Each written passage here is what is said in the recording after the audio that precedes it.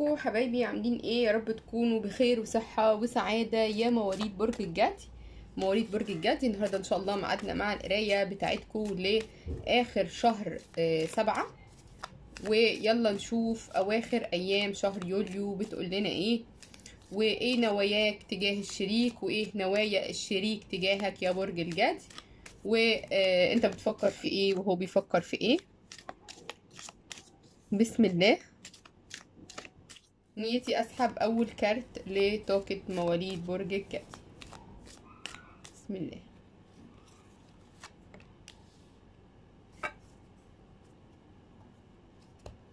طيب برج الجدي. شايفاك آخر أيام شهر سبعة وكأنك بتفكر في خطة أو بترتب خطة لحياتك لشغلك لبيتك آه ولكن في خطة في دماغك؟ في استراتيجي عايز تعملها. بتخطط لحاجة بتفكر تعمل أمر معين. و أو كأنك بتسجل كل حاجة عايز تعملها في دفتر كده يومي أو كأنك بتعمل مذكرة ليك. وبتحاول إن أنت تحدد أهدافك وتحدد أنت عايز تعمل إيه. وكأنه في تغييرات كتير في حياتك الفترة اللي جاية. فشايفاك بتحدد كل التفاصيل وبتحط خطة واعية وبناءة. شايفاك كمان مركز على كل الأهداف. سواء الأهداف اللي حاليا أنت عايز توصل لها أو الأهداف البعيدة. اللي هو لو هدفك دلوقتي توصل لحبيب توصل لوظيفة معينة فأنت مركز.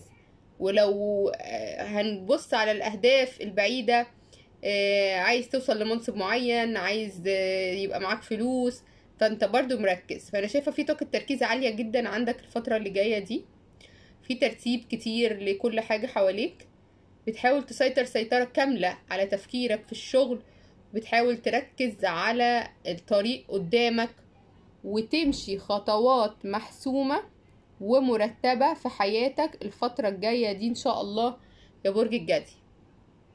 يبقى كل تفكيرك وخطواتك اللي جاية في شغلك ودراستك.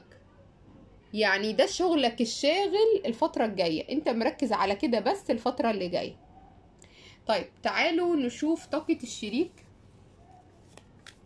بتقول لنا إيه؟ بسم الله. طاقة شريك برج الجدي بسم الله. هابي فاميلي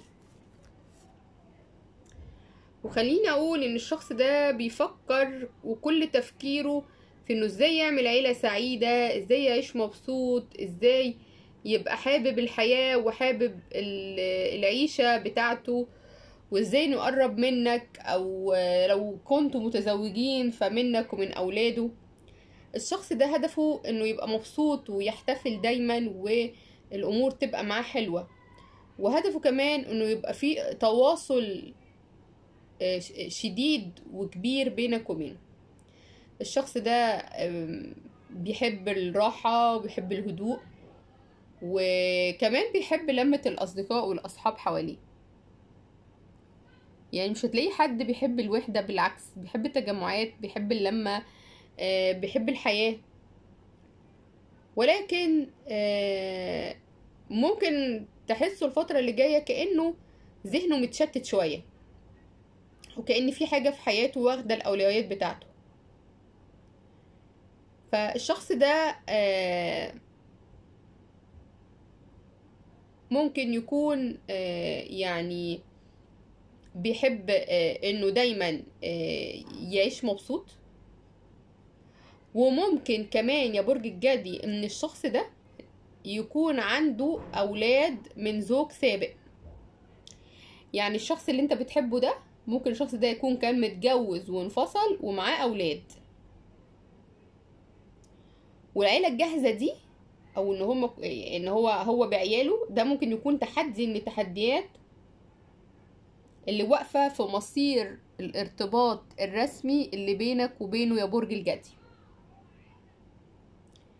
ولكن في كل الأحوال فالشخص ده عنده احتفال الفترة اللي جاية وشايفاه عايش في آه خلينا نقول آه أوقات حلوة وأوقات فيها مرح واحتفالات. طب تعالوا نشوف كروت التاروت هتقول لنا إيه. بسم الله. որ գիլգեց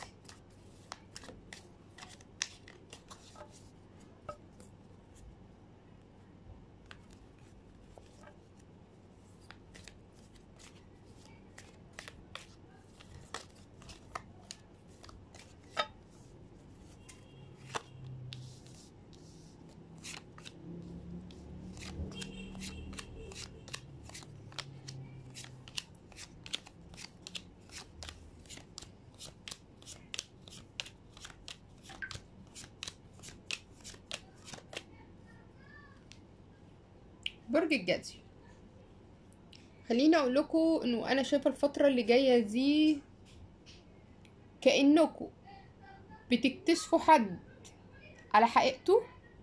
الشخص ده مخادع وكأنه بيحصل هزة بينك وبينه.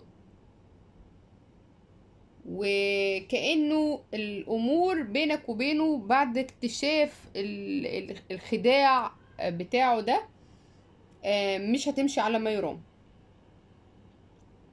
شايفة إن أمورك الفترة الجاية ماشية ببطء شوية؟ وشايفاك بتحاول توازن أمورك بس في انهيار مفاجئ بيحصل في العلاقة دي. وكأنك بتاخد يعني أمر فيه عدالة بتحسم أمر. في حاجة يعني بتحاول إن أنت تعملها و... وهتتوفق فيها. سواء بقى شغل سواء دراسة سواء سفر. شايفاك متوفق في حياتك العملية الفترة اللي جاية دي إن شاء الله. شايفة عند البعض في سفر من مكان لمكان. ولكن شايفاك عاطفيا بتاخد أمر قاطع في حاجة أو بتاخد قرار في حاجة بتكون لصالحك. يعني الانهيار والخروج من العلاقة دي لصالحك. ده هيظبط عندك الأمور لأنه آه لما تكتشف بدري أحسن ما تفضل على عماك فترة كبيرة. في أمور أو أوراق قانونية أو حكم محكمة بيصدر لصالح برج الجدي. في طاقة مصالحة من شخص في حد راجع عايز يكلمك أو راجع عايز يصالحك يا برج الجدي. ولكن أنا شايفة برج الجدي كأنك كنت مرتبط بشخص وندمان عليه وبتبص وراك على الشخص ده وعندك شوية أمل في الرجوع. يعني بتفكر في رجوع.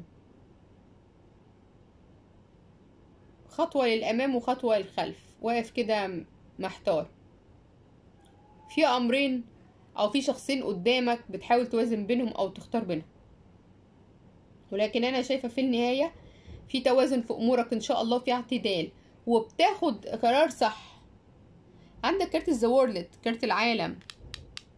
والكارت ده بيقول لي إنه في علاقة حلوة جديدة آه هيحبها برج الجدي والعلاقة دي هتبقى مرضية ليك ومرضية لقلبك وهيكون في ارتباط رسمي قريب جدا إن شاء الله. فحاول إن أنت آه توازن أمورك. كمان يا برج الجدي ما تحطش في دماغك إنه آه علشان الأمور ماشية ببطء يبقى كده الأمور مش كويسة بالعكس.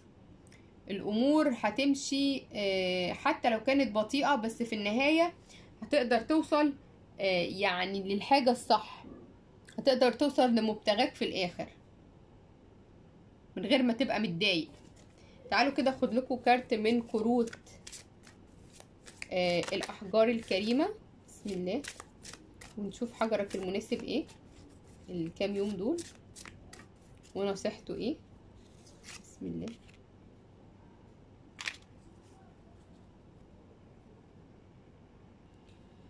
حجر التنزانيت. بيقول لي إنه آه أنت يا برج الجدي مستعد تحب مرة تانية. وأنت اتشافيت من الماضي بما فيه كفاية. وكأني شايفاك بتفتح قلبك للحب الجديد الفترة اللي جاية. هو بيقولك افتح قلبك للحب الجديد. كأنه انت خسرت قبل كده علاقة وكنت قافل قلبك ومش مخلي أي علاقة تدخل قلبك. بس الكارت ده بيقولك افتح قلبك إنه قلبك اتشفى بما فيه الكفاية. و... واخلص من كل الحاجات اللي كنت بتستاء منها وتأقلم مع الحب الجديد اللي هيدخل حياتك. وكأنك ربنا بيرشدك للأحسن والأمور الحياة العاطفية الفترة الجاية هتبقى أفضل. وهتقابل أشخاص هتثق فيهم ويكونوا متدينين وهتكون أرواحكم متواصلة. والناس دي ممكن يكونوا من أصحاب مقربين منك. و كأنك الفترة الجاية بتدعي ربنا وبتصلي إنه تتقابل مع شريك حياتك ولكن كأني شايفاك الفترة الجاية رومانسي قوي وكأنك بقى حابب تسمع أغاني قديمة أغاني حب. ده هيسرع وتيرة الارتباط بينك وبين شخص. هيدخل حياتك وهتكون مستعد إن أنت تدخل حياة جديدة وحب جديد. واصلا حجر التنزانيت ده جاي كده من اسمه على اسم تنزانيا في أفريقيا. والحجر ده بيقول لك بيبقى موجود هناك يعني وهو من المعادن فيها ألوان وظلال مختلفة. الأزرق الملكي الفيروزي الارجواني البنفسجي زي ما إحنا شايفين لونه كده. لما بيجي عليه الضوء كده أو النور بيدي إضاءة وحجر التنزانيت ده بيساعدك إن أنت تحس بالأمان وإن أنت تفتح قلبك للحب مرة تانية بعد أي علاقة مؤلمة كانت في السابق. يعني لو أنت كنت في أي علاقة مؤلمة مضايقاك وكل شوية تفتكر حاول تقتني حجر التنزانيت فده بيخفف عنك وبيخليك تفتح قلبك للحاضر. طيب أه حبايبي برج الجدي دي كانت قرايتكم. أتمنى يا رب القراية تكون عجبتكم. ولو سمحتوا ما تنسوش تشتركوا في القناة وتفعلوا زر الجرس. اضغطوا like و share و subscribe علشان أي فيديو جديد ينزل يوصل لكم بيه إشعار. وال like وال share علشان كل مواليد برج الجدي يشوفوا الفيديو. أشوفكم في فيديو جديد يا برج الجدي